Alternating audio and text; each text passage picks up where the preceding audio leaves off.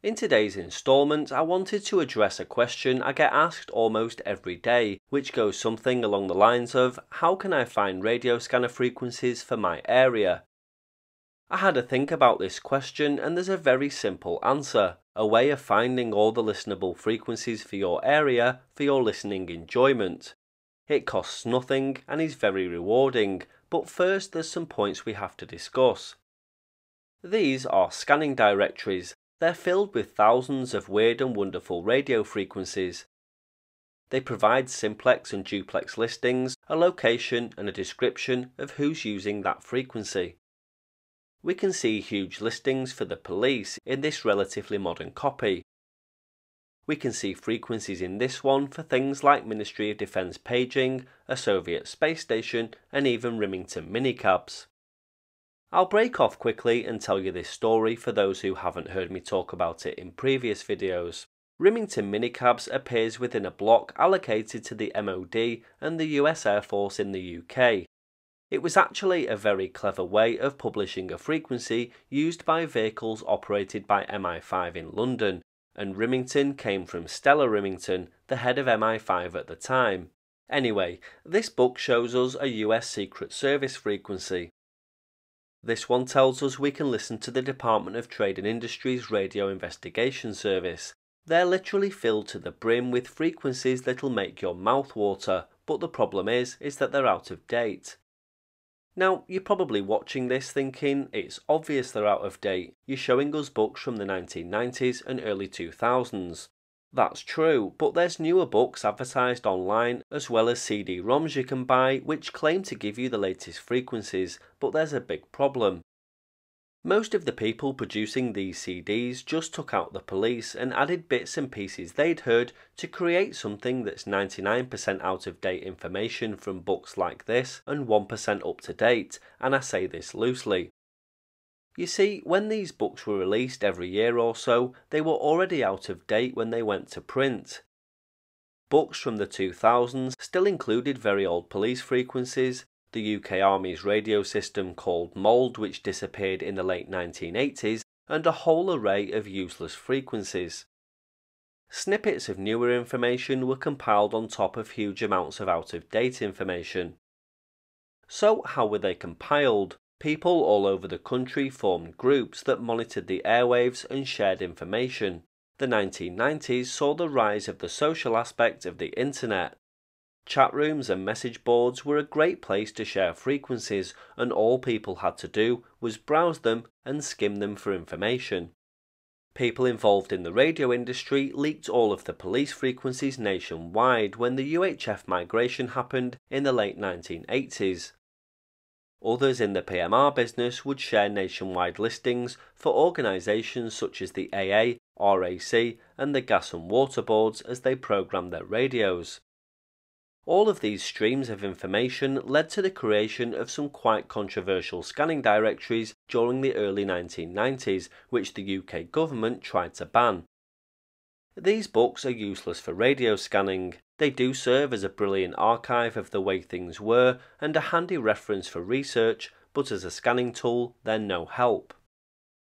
So, how do you find frequencies? Well, you have to listen. This is what the people who filled their scanners with a wealth of amazing frequencies did during the 1990s heyday.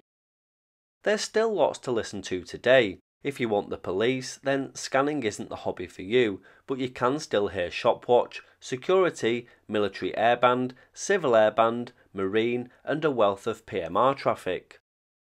There's lots of strange noises within the VHF and UHF part of the spectrum nowadays, which for the most part are digital standards which require a digital scanner.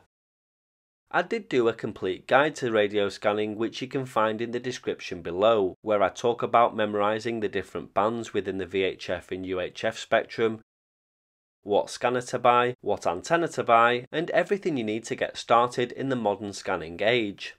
So let's say you have your scanner and antenna, there's five steps you need to follow. Firstly is time. The only way of finding frequencies is to take the time to listen. Some of the best scanning targets may only transmit at certain times of the day, which requires investing time. Nowadays, many scanners record to SD card, and Whistler scanners record everything they hear into a software package so you can go back and see what you've missed. This is a handy way of acquiring frequencies and looking for point number two patterns.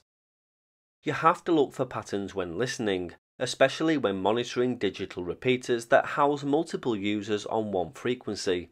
Look for groups of talk groups to identify transmissions from one user, you also have to look for timing patterns, who comes on a particular frequency at a particular time. Some frequencies are only used during the day, some only during the night. Working out these patterns helps you to trace their transmissions. Thirdly, keep plenty of notes such as frequencies, times, talk groups, colour codes, and CTCSS tones. It's always handy to note what you hear to build up a picture of who you're listening to. Do they mention people's names, locations, or street names? All of this can help identify a target. Fourthly, use the Ofcom licensing portal. It gives you the names and locations associated with thousands of frequencies and is a great tool in identifying what you're hearing.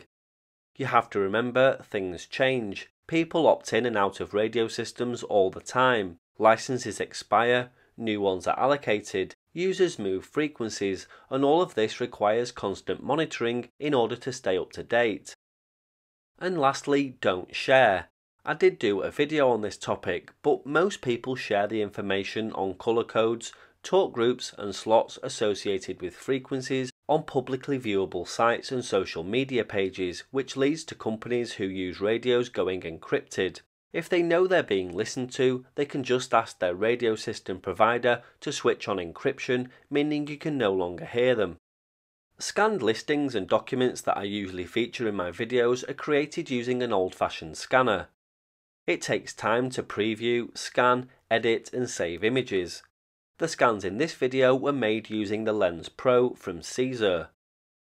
This 12 megapixel high resolution scanner scans anything and saves it to multiple formats within seconds using the supplied software package. It uses Corrective Edge to align your document and post processing to give you a clear and clean image.